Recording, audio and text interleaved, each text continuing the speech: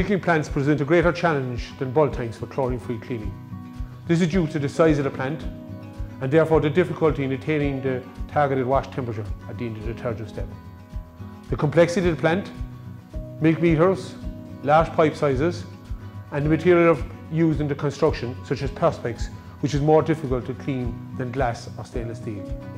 Again, for chlorine-free cleaning of milking plants, temperature is the critical factor. A good supply of hot water at 70 to 80 degrees must be available so that we'll be able to achieve our target temperature at the end of circulation step of 50 degrees or higher. Remember, every 10 degree rise in temperature doubles the cleaning effect.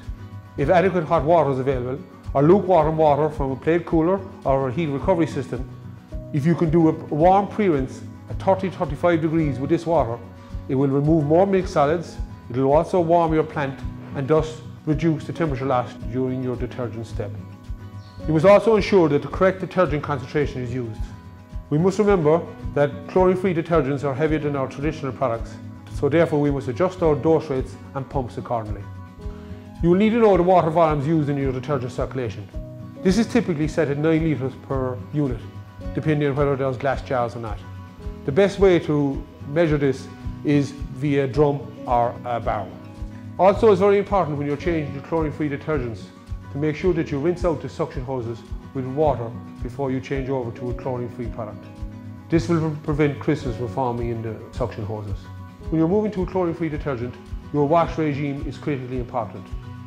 This is very important late in lactation when the solids become higher and therefore it will put most pressure on your chlorine-free regime. Biocel and Co-op Source have the full range of detergents for all your requirements, be it powders and liquids. Turbo Clean Powder, Turbo Sand CF, Turbo Acid CF and Serpent. Biocel and Co-op Source have produced a very handy chart with the key points that are relevant to chlorine-free cleaning.